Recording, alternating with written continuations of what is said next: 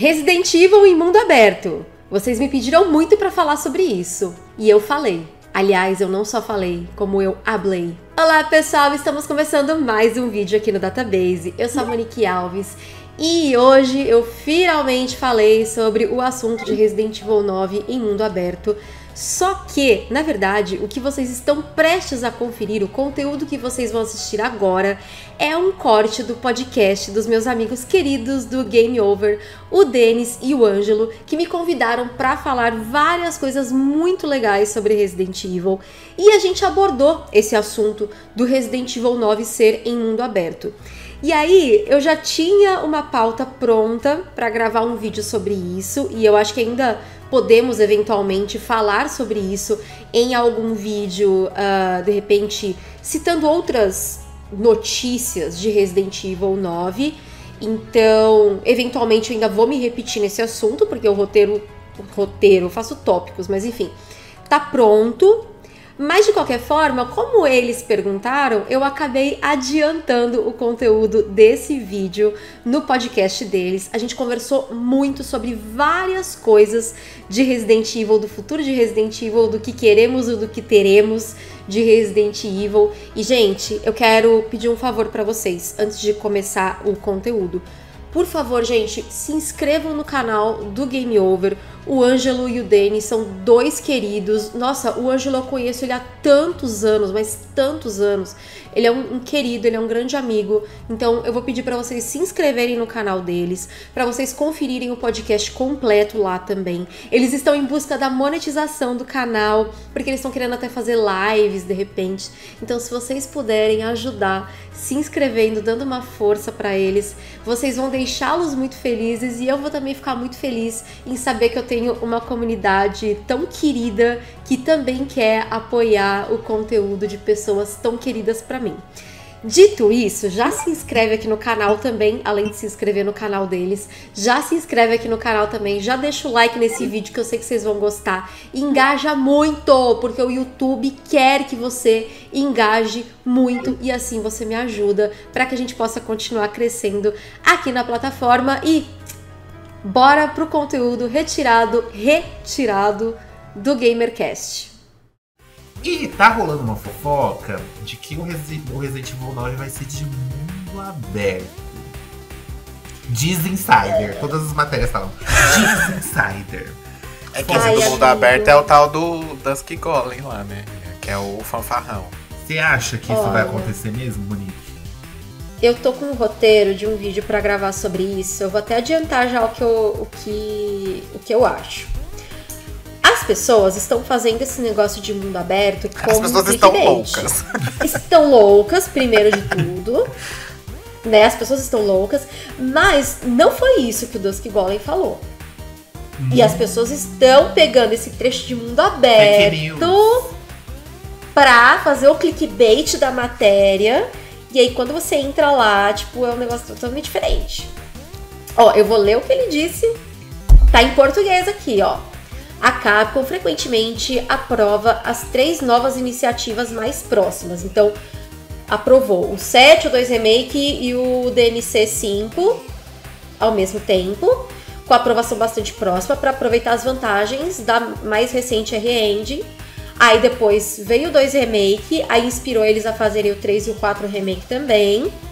E aí ele falou o seguinte, ó: Dragon's Dogma 2 expandiu a funcionalidade da R-Engine para jogos de mundo aberto e os outros dois jogos baseados nessa tecnologia vão ser Monster Hunter Wilds e o Resident Evil 9. Os próximos jogos baseados na R-Engine.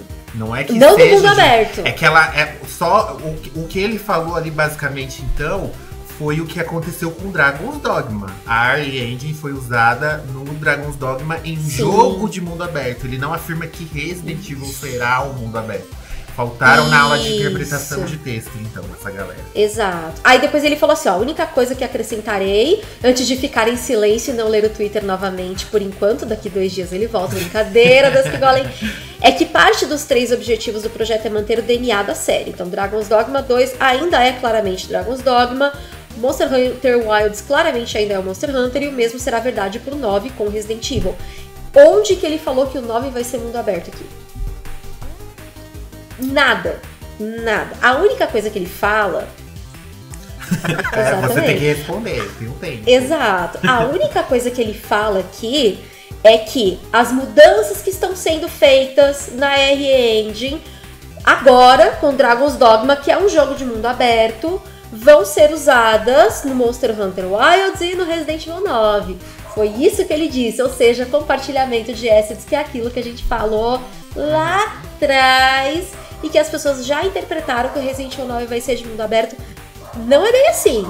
Já diria Vera Fischer, não é bem assim. Disseram que eu não gosto de pobre. Não é bem assim, entendeu? assim, talvez o 9 tenha um, um, mundo um pouco maior, pode ser. O próprio Village já teve é, isso. isso que eu ia falar, Eu acho que é- no eu- Village deu certo. Você Sim. tem O acesso à vila Remake, o inteira. 4 Remake é um jogo remake. que tem um grande escopo, sabe? Mas não quer dizer que vai ser um jogo em mundo aberto, até porque Sim. ele não falou isso ali, ele não falou isso. Ah. Ele só falou que as mudanças que estão sendo feitas na R-Engine agora, com o Dragon's Dogma 2, vão abraçar também o 9 e o Monster Hunter Wilds. Não quer dizer nem que o 9 e o Monster Hunter Wilds vão ser em, em mundo aberto, e eu não sei de onde as pessoas tiraram que o 9 vai ser em mundo aberto por causa disso. É, eu acho que o que ele, é, é o que ele quis dizer é que a proporção que a, a, a engine Isso. tem agora é pra jogos maiores em proporção de. Porque você for comparar, o 2 Remake, ele é muito fechado, né? O completamente, até porque o jogo faz sentido ser assim. Mas ele tá em ambientes fechados, em lugares mais controlados, ali onde para o desenvolvimento é uma coisa mais fácil. Entre aspas. Agora no 4 a gente já tem uma expansão disso que é muito próximo do que a gente teve lá no Village também, que são lugares maiores, com proporções maiores, com externas. Então você tem fundo, você tem background, você tem visão de horizonte. É, é isso que ele quis dizer, amiga. Sim. Vamos lá, minha galera que, que tá dizendo isso aí, porque só hoje eu vi uns quatro vídeos subindo aqui com essa E, temática. não só isso, sites, Resident Evil 9 mundo aberto. sites no- de notícias sérios também Que tá claramente-. Seja pro 9 ou seja pro remake do 5, é, é óbvio que essas proporções teriam que ser maiores. Porque o, o 5, por exemplo, se a gente pega o original, ele tem es- descampados muito maiores, espaços muito maiores, onde você transita, né? Ma- Maiores que o 4 ainda, no, no sentido que o 4 também já era maior do que o 3 original, por exemplo. Então, assim, é óbvio que a- o negócio, a, a engine ela vai, atualiz, vai se atualizando, e aí eles lançaram essa versão nova, e eles já lançaram prevendo pra isso mesmo. Porque, assim, é óbvio que eles querem fazer o Monster Hunter em mundo aberto, por, pelo tanto que Monster Hunter vende, já se ele vende tanto não sendo mundo aberto, e, não, e tendo diversas limitações que ele tinha nas, nas engines anteriores, imagina agora, com o poder que tem agora. Mas é óbvio que eles tinham que adaptar isso, né? Porque eles estavam acostumados na. Os jogos que até então saíram na R-End foram Resident Evil e Devil May Cry, que é mais contido, não tem jeito, né? Ele tem essa, essa proporção menor. E aí, pra você fazer. Eu não sei se o Monster Hunter, o anterior, depois do World, do World, eu não sei se ele era na R-End, não, né? O do Todos Switch? são. Eu, eu acho que. É o do Switch é. Eu acho É? que o Monster Hunter World, se eu, me engano- se eu não me engano, ele não é na R-Engine. Eu acho que que foi o. é- É... o Sunrise, não é? Ai, gente, eu não sou Eu acho que Sunbreak era uma DLC que veio depois, mas é esse, essa, esse aí, gente, que a gente tá falando aqui. É. Rise. Rise, Rise, É. perdão. É. Ele, Ele é na é. R-Engine, é. tá. Agora, o World, eu não sei se ele era. Eu acho que não. Deixa eu ver aqui. Porque a, a própria R-Engine, ela é totalmente moldável. Ah, ó, MT Framework. É a antiga ainda, a Sim. o, o World. O Rise. O Rise, que é R-Engine. Rise E, gente, pelo amor de Deus, a R-Engine, ela fez Exoprimal também. Ela fez Street Fighter 6 agora, sabe? Então, tipo, são jogos de mundo aberto também? Não, cara, é que ela vai ficando cada vez mais versátil para eles poderem usar em várias franquias. Sim. Eles precisam fazer uma, é, uma engine só pra Resident Evil, uma só pra... Devil May Cry também foi na R-Engine.